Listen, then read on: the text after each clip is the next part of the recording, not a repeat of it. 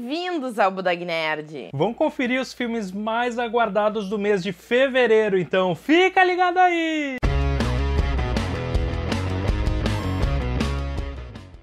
No dia 7 de fevereiro vai estrear Escape Room, que é um filme de suspense e terror, que um grupo vai ter que passar por desafios mortais dentro de um lugar. Eles vão ter que sobreviver sala por sala desse ambiente. Sabe o que me lembrou muito esse filme? Aquele Cubo, é uma franquia Cubo dos anos 90, e é uma mistura um pouco de Jogos Mortais também, né? E nesse mesmo dia vai estrear o filme Guerra Fria. E como já diz o nome, esse filme vai se passar durante a Guerra Fria, e ele vai contar a história de um músico e de uma cantora, a história de amor deles. É, o filme ele está concorrendo ao Oscar nas categorias de melhor diretor, fotografia e melhor filme estrangeiro. E no mesmo dia vai estrear o filme Portal da Eternidade, que vai contar um pouquinho da história do Van Gogh. Eu achei bem interessante porque olha o elenco, né? A gente tem William Defoe, Oscar Isaac e Mads Mikkelsen. Então, olha, parece bem interessante esse filme. Também no dia 7 vai estrear Poderia Me Perdoar. É, aqui a gente vê um filme baseado em fatos reais que conta a história de uma mulher que falsificava cartas de pessoas famosas que já morreram e furtava textos originais para vender. E nesse filme, né, no elenco tem a Melissa McCarthy, que foi indicada para melhor atriz do Oscar. É, nesse dia a gente também tem a estreia do Se a Rua Bill Falasse, né? Que é uma história sobre a Tish, que é uma mulher que tenta inocentar o marido das acusações e tenta livrar ele da cadeia, antes que o filho deles nasça. É, e esse filme, ele é dirigido pelo diretor do Moonlight, que é uma ótima referência. E ele tá sendo indicado a várias categorias do Oscar, né? Então, roteiro adaptado, trilha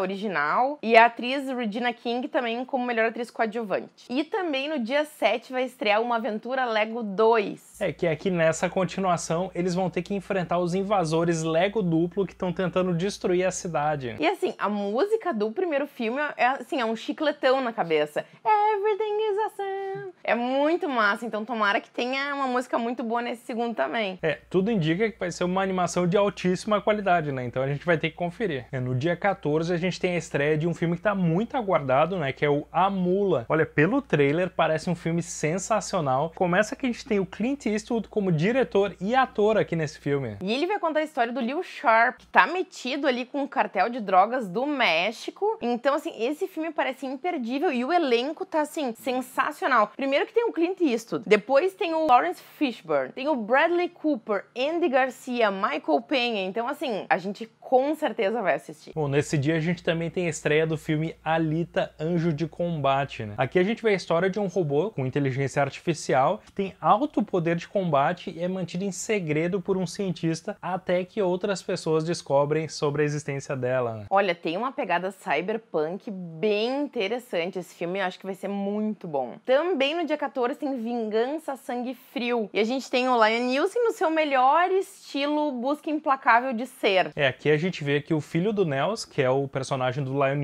é morto por um traficante de drogas e o Lion vai partir para vingança, né? Então a gente tem aqui um personagem muito no estilo busca implacável. Então Lion no seu melhor aqui. A gente tá curioso demais para ver como é que vai ser esse filme. No dia 21 de fevereiro estreia A Morte Te Dá Parabéns 2. O número 1 um foi assim uma viagem. Ele contava a história de uma moça que ela ficava presa repetindo o mesmo dia sem parar. Só que acontecia o seguinte, no dia do aniversário dela, ela sempre morria. E aí isso foi acontecendo, se repetindo até ela descobrir uma maneira de sair desse ciclo. É, nessa sequência, curiosamente, ela vai ficar presa num ciclo repetindo o mesmo dia de novo. Olha, eu gosto desse estilo de filme aqui, mas espero que não seja uma sequência muito forçada aqui. Espero que tenha um roteiro interessante. É, nesse dia a gente também tem a estreia do filme Querido Menino. E aqui a gente vê o David se dedicando para ajudar o filho que é dependente químico. É, o personagem do pai aqui é feito pelo Steve Carell, né? Parece ser um filme muito emocionante, né? Então a gente vai conferir esse aqui também. Também no dia 21 vai estrear Todos Já Sabem. O trailer foi super impactante. Ele conta a história da Laura que vai voltar para Espanha pro casamento da irmã. Só que um crime acontece. É, a família toda vai se reunir para descobrir o que que aconteceu, quem é o criminoso aqui. E olha só, o elenco tem Penélope Cruz, Javier Bardem, Ricardo Darim. Parece fantástico, né? E no dia 28 de fevereiro a gente tem a estreia do filme A Maldição da Freira, que é mais um filme de suspense terror aqui com conventos, freiras e coisas diabólicas acontecendo, né? É, no trailer, assim, a gente não viu nada de muito inovador pro assunto. Mas como